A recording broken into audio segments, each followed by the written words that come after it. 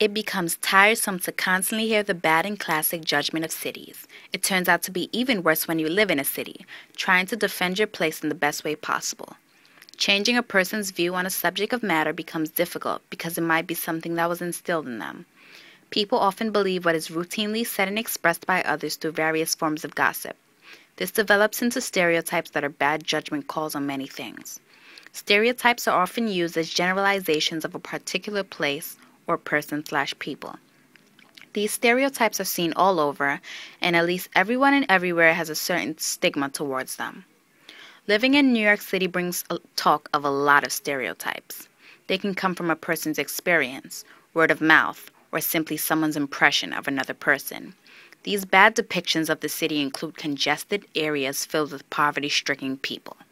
The story Maggie, a girl of the streets, describes a place that the characters into into as a dark region where, from a careening building, a dozen gruesome doorways gave up loads of babies to the streets and the gutter. From simply reading the description of a city, one can assume that the city itself is disastrous and congested with people that aren't so fortunate in life. Their space for leisure is contaminated with their waste, which would infer that they are not well off and financially stable to live more comfortably. Paralleled is the story He, in which the speaker describes a place that he journeyed to as having narrow, curvy alleys and passages. From simply reading this narrative of a city, one can accept that the city itself is very jammed. Looking at this on another level, people can now make wide generalizations that all cities are places that are dark, filthy, choked with people that have no sense of boundaries and jammed of space. Growing up in New York City, my eyes have seen all types of places. New York City itself is congested with edifices that are known to people as their place of work or rest. Restaurants, houses, parks, and other locations are all different areas that people are surrounded by. My neighborhood is an example of where the stereotype is expressed fully but then challenged by other forces. I live in central Brooklyn, where you can see the congested areas that are poverty stricken.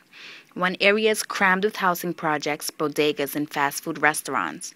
The streets are litter filtered, places are packed, and people give mean mug stares. If someone were to encounter this area on their first visit here, one would begin to give in to all the negative stereotypes of the city. Challenging these depictions are a few blocks down, where one would believe they stepped into a totally different area. This is where I reside, and my surroundings are private houses with accessible front and backyards, schools, and parks. The streets are clean, smiles are blossoming, and it seems like the bright side of the area.